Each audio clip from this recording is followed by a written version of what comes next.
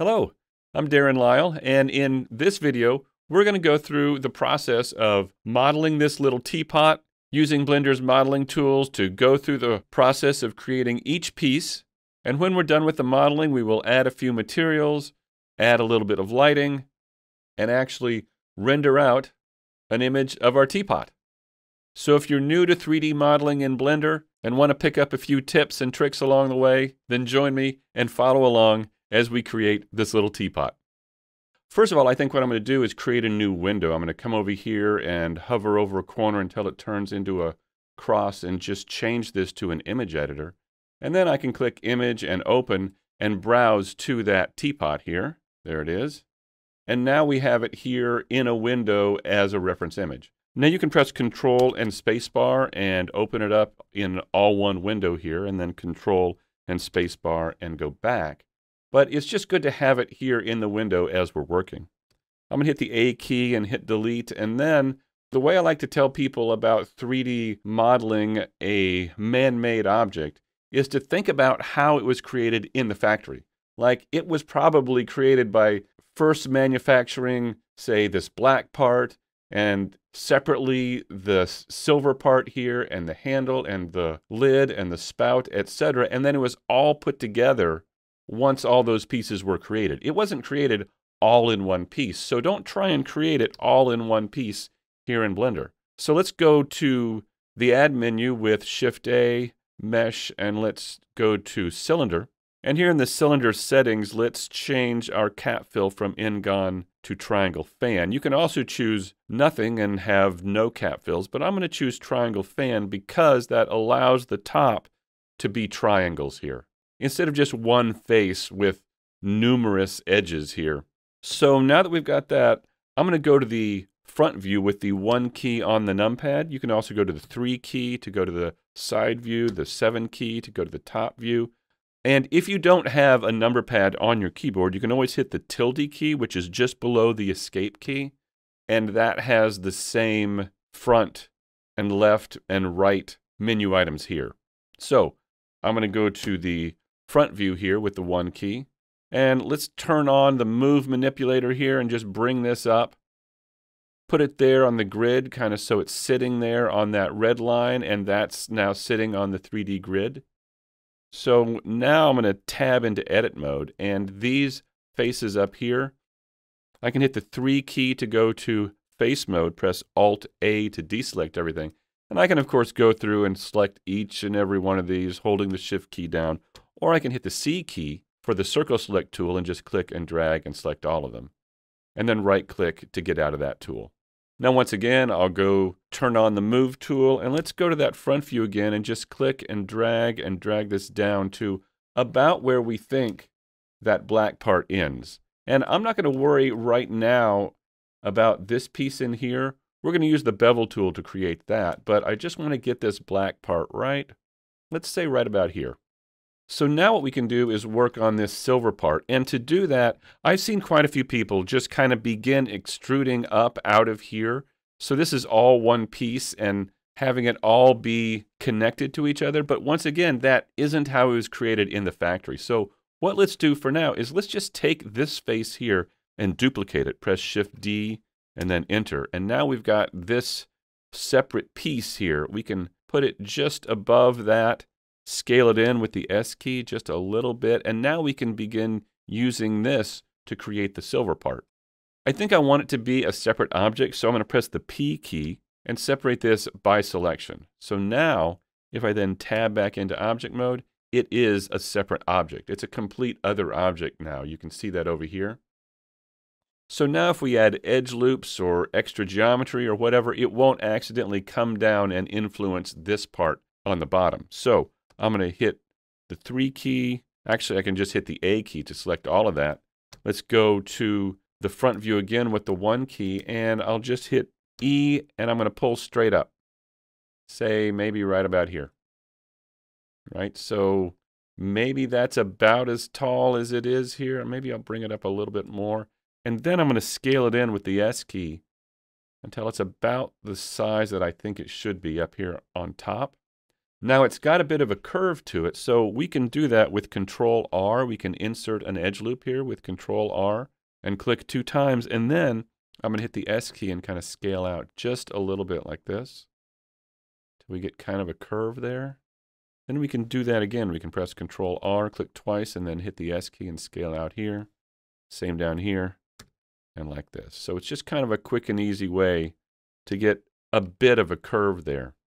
All right, now that we've done that, let's go back and grab that little edge here or that little indentation here. These are actually two pieces, but I'm just going to go ahead and have it be one. Using the bevel tool here, I'm going to press Control R and click and bring this edge down to where I think the center of that ridge should be.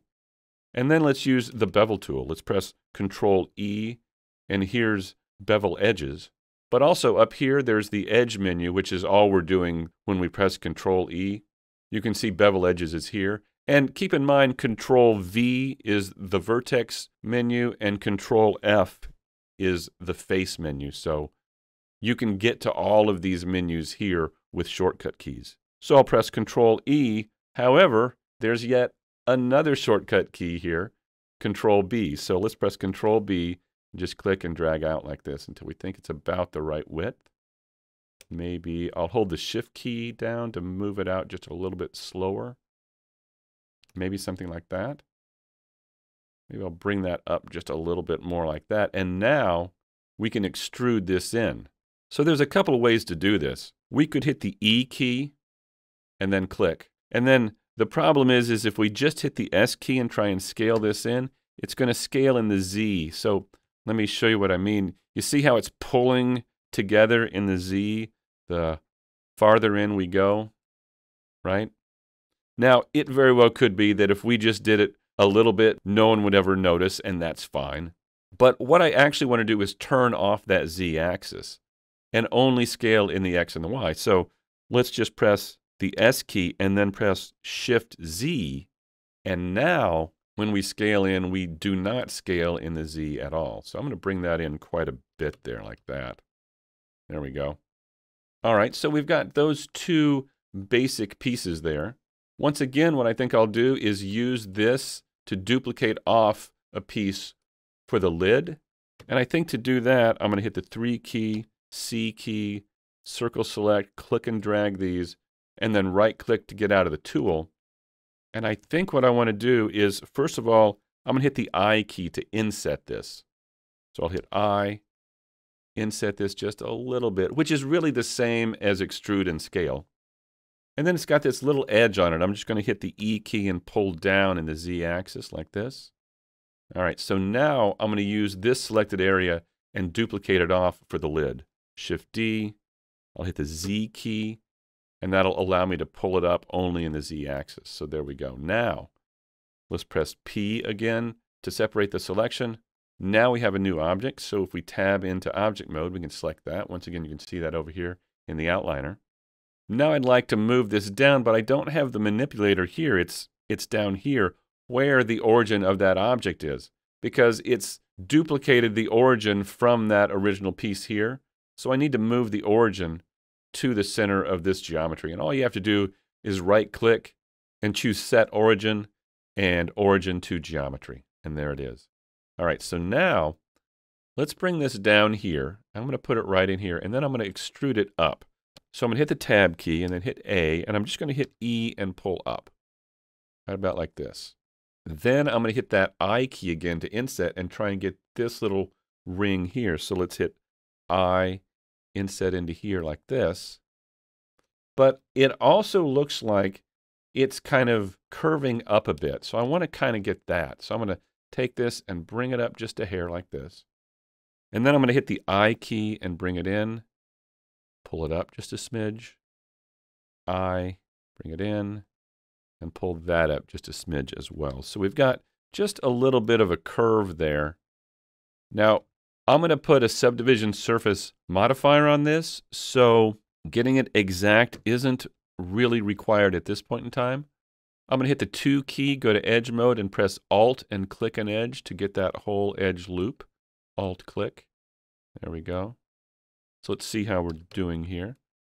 Yeah, I think we've got just a little bit of a curve there. I can also maybe just select this one point, hit the one key, select that, and bring it up just a bit. Now let's deal with this little guy right here. I'm going to hit the one key, and if this is my side view or my or my front view, I should say, I think I want the handle coming out here. So I think these pieces should go, yeah, so this should go like this. This way, I think. So what I want to do is take some points here and slide them toward the center to get this little piece right here. So let's just take these three points, and I'm going to hit G two times to slide them along the existing geometry. G two times, and then they slide along that existing geometry there. And then maybe I'll take this and do that again, G two times, and slide that like that. So we just get that basic shape there. I'll hit the 2 key so we can see it. And then I think I want to take this edge, Alt-click that edge, and I want to bevel it so we get just a little bit of an edge in there, right? A little bit of an indentation. So let's do that. Let's press Control B, pull out just a little bit. I'll hold the Shift key there. Pull out just a bit like that. And there we go. Now I'm going to hit the 3 key to choose all the faces in there. And then let's just extrude down with the Z axis. I'll hit EZ and pull straight down just a smidge like that. All right, we'll see once we add a subdivision surface modifier how well we did there. But for now, let's keep going. I mean, we could go ahead and smooth this so I can select a part and right click and choose shade smooth and down here as well, shade smooth. We're getting some strange artifacts in here. So what we can do is come down here to the Properties panel, choose Object Data Properties here, and way down here under Normals, we can turn on Auto Smooth. So I'll select one, turn on Auto Smooth, select another one, turn on Auto Smooth. Now you can also do that by just right-clicking and going straight to Shade Auto Smooth, so we can try that. Yeah. Okay. So we've got those basic pieces now. What about the handle? Well, if we hit the 1 key, we'll come over here and we can work on the handle. I feel like now that I'm looking at it from this side, this is too thick here, this edge here, this indentation. I mean, I can take these faces here, let's say, um, let's say these on, on top, alt click between two of the faces, and it'll select in face mode that entire face loop. And now I can click and drag and pull that down a bit. Hit the one key and let's take a look at it. Yeah, I think that's a little bit better. All right, so the handle. How should we do that? Well, once again, it is an object that is conforming to another object. And kind of like these pieces, I think we should duplicate off of this main piece here to get the beginnings of that handle. So what we can do is, first of all, how wide do we think it is? Is it wider than this? Yeah, I think so. Maybe let's go, let's select these here, like this. And let's duplicate this, Shift D, Enter. Let's pull it off in the x-axis a bit, and then let's hit P and separate this by selection. All right, now we can select that as its own piece, and we can begin to use this to create the handle. Now, if you want to, you can begin labeling these objects here. I'll call this handle. We could call this lid. We could call this the base. And we could call this main. We could just call that the main part. So it's helpful to stay organized as you get more and more pieces in your scene here. All right, for this now, let's just take uh, this whole thing. I'll hit the A key. And let's just extrude this out. I'll hit E and let's just pull out in the X. What I'm going to do is hit the X axis. You can see it's going to try and bring it out perpendicular to the selected faces. So I can hit the X key and pull it out just in the X axis. So maybe like this. We could maybe scale that in just a bit like this, but not so much in the Z. So once again, I'll press S, Shift Z to turn off that Z axis. And maybe we could scale this in a bit like that. And then we need to extrude these pieces out here. So I think what I'll do is extrude them out together and then try and have them meet up in the middle. So let's hit the 2 key to go to edge mode and alt click this edge here. And then I'll hit the G key two times and slide that up. And let's do that here too, the G key two times and slide that down. Something like that. There we go. And now we can take these faces here and these faces here. And let's hit that one key again. And let's extrude these out. Now, I'm not exactly sure. We're looking at this at an angle, so it's kind of hard to tell exactly what the curves are. But let's try and get as close as we can. I'll hit EX, and let's pull straight out. Because I think the top is going pretty straight. So maybe I'll go out to about here where the, maybe the top should be like that. And then I could select these here and pull these back some, maybe down into here. And those look like they can angle up like this. And this looks like we could maybe straighten this out. So maybe let's take this and maybe turn it, hit the R key and just turn it a bit. Or you could also shear it. So there's a shear tool here. Because if you turn it, it will stay the same width, or stay the same height, I should say, and it might make this a little bit wider as we turn it. But if we shear it, we can click here, and then we can shear it by clicking one of these and turn it like this, and then that z-axis width will still stay the same. There we go. Now we can come over and click on the move tool to get out of that shear tool, and there we go. All right, so now what I want to do is basically take this and turn it and bring it up here. So I'm going to take these here. I think I will scale them in a bit, SY, like this. I think I will scale them in the Z, SZ, so it's a little bit thinner like this. And then let's just hit the R key and turn it some. Bring it up a bit. And now we're going to extrude it up toward here. Now I can hit E and click and drag, but you can also press Control and right click. So if I press Control and right click, it will extrude that to that point. And then I can hit the R key, Control and R, and move that a bit like this. And there we go. Now I want to create an edge here that this can connect to. So I'll hit the one key, Control R, drop an edge, say right in here. And now we can take these faces and these faces and connect them up. Now, I don't want this to be curved. I think I want to flatten this in the x-axis so I can press SX and 0 and flatten that up. And then let's just take these faces here and let's take these faces here and we can bridge those edge loops. We can press Control E and bridge edge loops. And there we go. Now, there's some issues here. We've still got this curved. But I think what we're going to do first is add a subdivision surface modifier and see how it looks. So I'll tab back into object mode. Let's come over here to the modifiers panel and let's come up to add modifier and we'll choose subdivision surface. Now you can see how it's beginning to kind of curve itself. Let's turn this up to 2. Yeah, that's looking a little bit better, right? So now we can begin working with this to get it more in line with what we want from the reference image. So maybe I'll tab into edit mode and I can sharpen up these edges by pressing Control R, adding an edge loop and maybe pulling this in some like this. We can also add an edge loop down here to kind of tighten up the angle along here. So I'll press Control R and we can kind of tighten that up. We can do the same thing up here. Control R, tighten this up here. feel like we could tighten this up over here just a bit as well. Maybe I'll add one here to see how that works. Yeah, kind of like this. All right, let's take a look at it. Yeah, we're getting there. I think there's more that we can do in terms of scaling it in the width. I feel like if we took this and maybe scaled it in the Y some, I could make it a little bit narrower. But then up here, I feel like I need to make it wider. Like we could alt click this edge and press SY and scale that out a bit, right?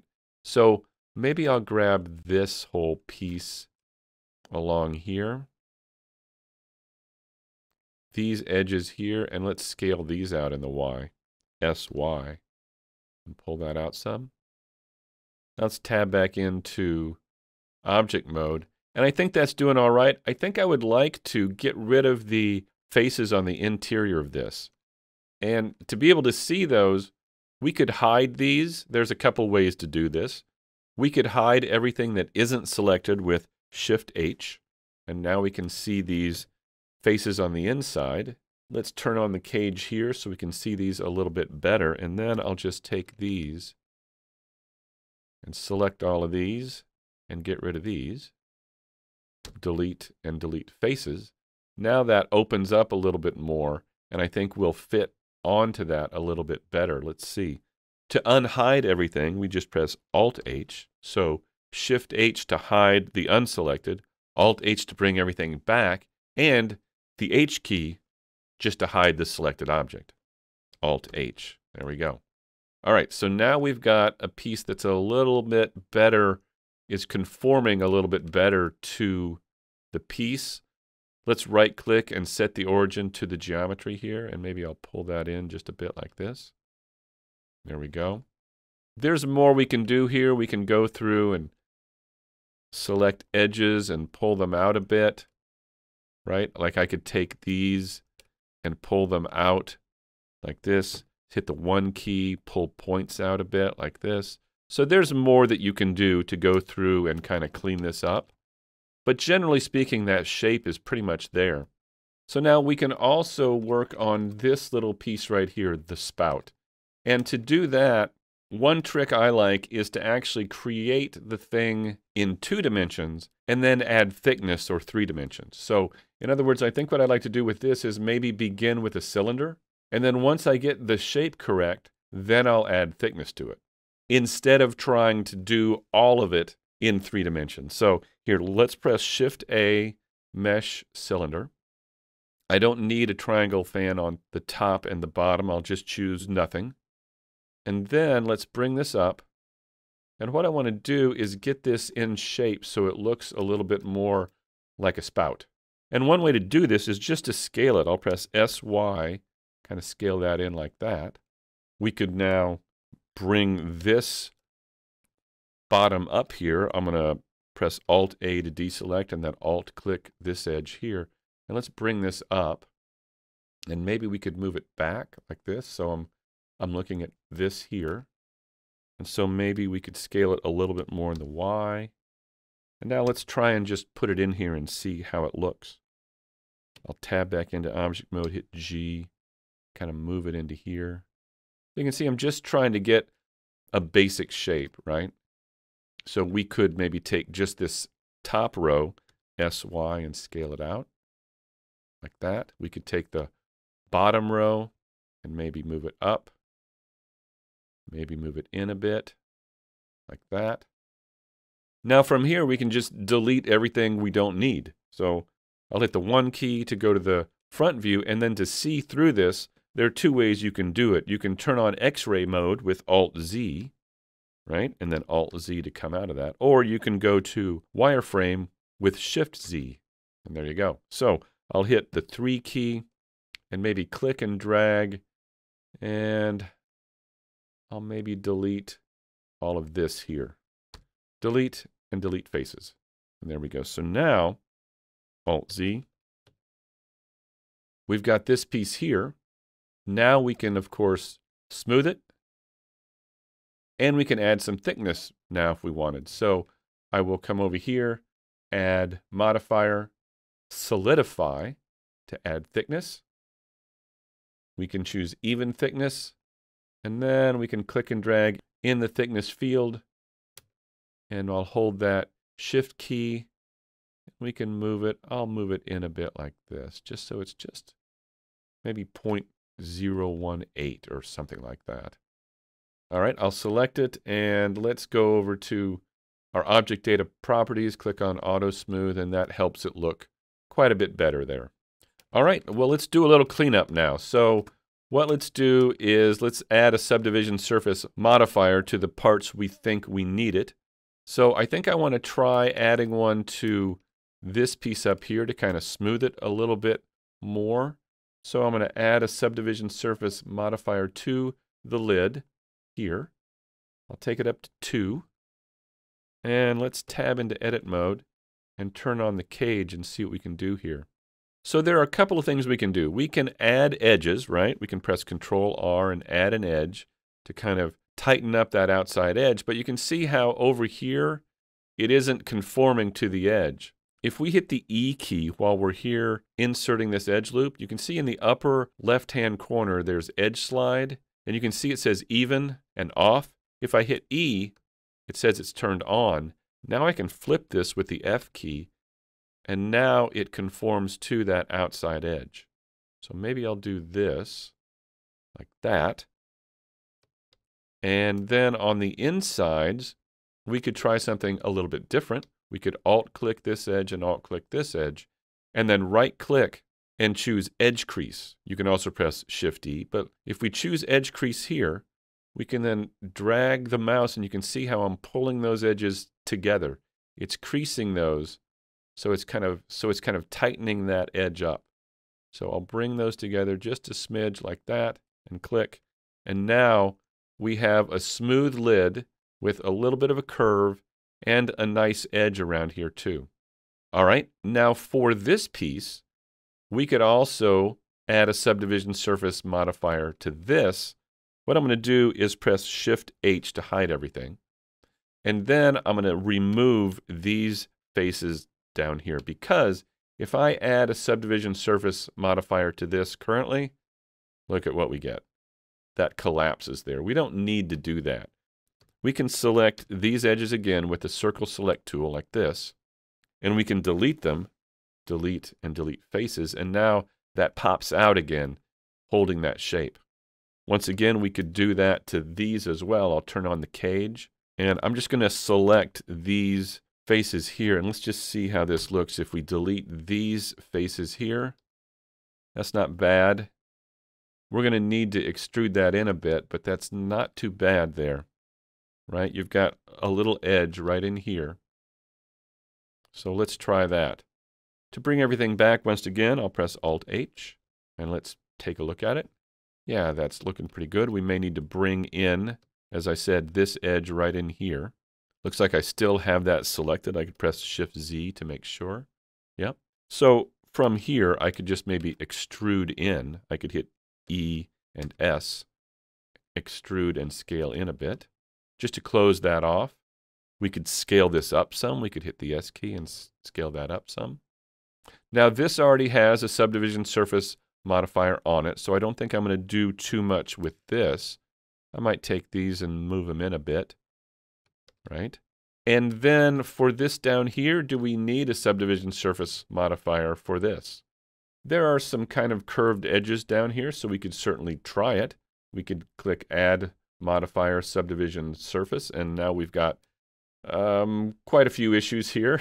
but what we can do is I turned on the cage and once again, we can press Shift H and come in and delete these faces here, delete faces, and that opens that up. Delete faces down here if we want and that can open this up. However, if we ever want to turn this over, we're going to need a bottom down there, but currently we can just go ahead and do that. And then if I turn the cage off, you can see there are no edges here to hold these, so I can press Control R and drag an edge up and drag an edge down like this. We can put an edge inside here if we want. Control R and bring this out like that. Control R Bring that out like that. And we could even put two in here. Control R, scroll the mouse wheel until we get maybe two edges. You could even put three if you want in there and click two times. There we go. Now press Alt H and we need to close this off again. So I'll select this edge, hit E and S, and then E and S again. Kind of close that off a bit. We could turn this up to two. There we go. That's kind of nice. Now, it looks to me like this part is just not quite big enough, right? It looks like it's too narrow. And this too. So what let's do is, once again, scale without that z-axis. I'll press S, Shift Z, and now I can make it all a little bit wider, like that. Then I can take this and bring this out, take this, bring this out a bit, and of course, also take this and make this just a little bit bigger, like that. Now, lastly, we could slap a few materials on this and call it done. Well, let's do that. Let's uh, scroll down over here to the materials panel. Let's select a piece, click new. I'll call this main since this is the main part. Let's give it kind of a silver color here. Let's go over to our material preview here like this. Let's now take this and add it to the other parts. Let's take this and we can pull the menu down here and choose main if we want to do that. Let's come up here and once again we can pull it down here or we can choose this one and then shift click another object that has the material we want and press Control L and link materials and that will add it to that. Then we can take this new, we can call this uh, say black plastic. I think that's what that is and take this down to a more black color like this. And then once again, select this, shift click this, control L, and link materials. Now we also have some black up here. So let's just select this, go to face mode, alt click, say between these two faces and press control and plus on the numpad to move that forward, let's say to about right here. I hit the minus key to go back. Now, in addition to the main material, let's also add the black plastic. So I'll click here for the plus to add a new material slot. We could click new, but what we really want is to pull this down and to choose that black plastic here. Now we have to do is assign that to those faces. Click assign, and there we go. All right, so now we've got the basic materials, but they don't look too great. Let's go over to our shading tab here. And in this view, we can kind of get a better sense of what it might look like under lighting conditions. So I'll take this right here, and we have that material here, or we can come back over here. And I will bring the specular all the way down, bring the metallic all the way up, and there we have more of a, a metallic material. Let's click in the roughness and bring that down quite a bit like this. And now for the plastic, let's select that. Now we're here in the black plastic. I think I'd like to make it a little bit darker, so let's click here and bring that down just a little bit. And since this is a plastic, we don't want the metallic on. Maybe I'll bring the specular down just a bit so it's, no, let's take the specular up a little bit more so it's a little bit shinier like that. There we go. Now we've got our teapot looking a little bit better. And lastly, what we can do is come over here to the Layout tab. We could switch over to the rendered view, and in here, let's put an HDR image so we get some reflections on this. Over here, you can go to your world properties here, click on the color, and go to environment texture. Now you get this awful pink, which just tells you something is missing. And in here, let's click open. And I've got some HDR images on my hard drive here. I will use one of these. Let's just use a um, kitchen scene here. I'll just click here and then open image. And now we've got our teapot with reflections here from the HDR image. I don't really want to see those, the image in the background, so I can come over to the render properties, come down to film, and click transparent. And there we go. So now we've got our teapot. I can come back to the world and change the strength maybe to two so it's a little bit brighter. And now if we create a camera, Shift A, camera, I'll then take this camera and move it back a bit, move it up some. Let's press zero on the numpad to look through it. And then what we can do is hit the N key, come over here to view, go to camera to view, and now when we move, we move the camera as our view. So I'll take this and move it maybe like this. I'll turn this off now so when we click and drag, there's our camera and there's our object. I'll hit the N key. And now let's see how it looks. Let's just hit F12. And there it is. Make it just a little bit smaller here. There we go. I think that's a little bit too much of a long lens. I think what I'm going to do is select the camera, come over here to camera, and change the focal length to maybe 35. Let's try that. I'll hit the zero key, hit the N key, camera to view, and I'll zoom in just a bit. There we go. Turn that off, hit the N key, tumble around, and let's hit F12 again. And there we go. Now, if you want to save this out, you can click on Image, Save As, put it on your hard drive. I'll call this Render Teapot. And there we go. Now we have that image right here, and there it is. There's our finished teapot. So if you're interested in going even further, check out my UV mapping video here on YouTube that'll show you how to UV map an object so that you can then put 2D textures on it as well. Well, thanks for watching, and take care.